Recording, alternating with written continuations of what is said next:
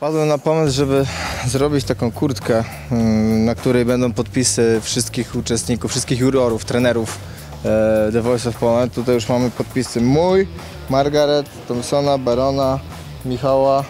Będziemy kompletować te podpisy. Tak, tak, tak. Będziemy kompletować wszystkie podpisy i cały, cały dochód z licytacji przeznaczymy dla Majki. Mam nadzieję, że, że ta kurtka e, trafi w dobre ręce i za ogromne pieniążki, żeby pomóc Majce. Także bardzo Was proszę o to. Pomagajmy. To jest, to jest bardzo dobra, dobra sprawa. Słuchajcie, nas to tak naprawdę nie kosztuje nic. Odrobi się gdzieś.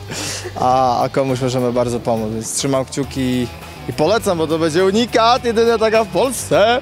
Jeszcze moimi perfumami pachnie. Dobrze, że perfumami.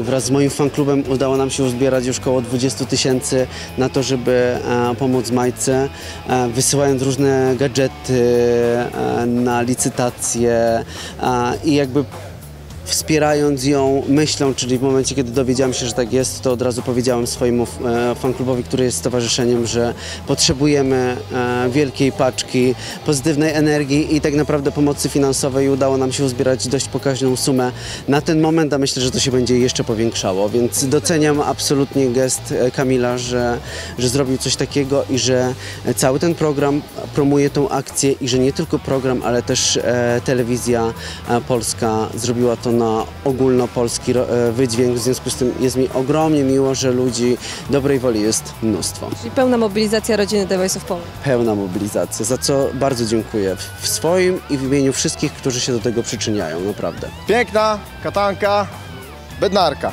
Marka bednarka.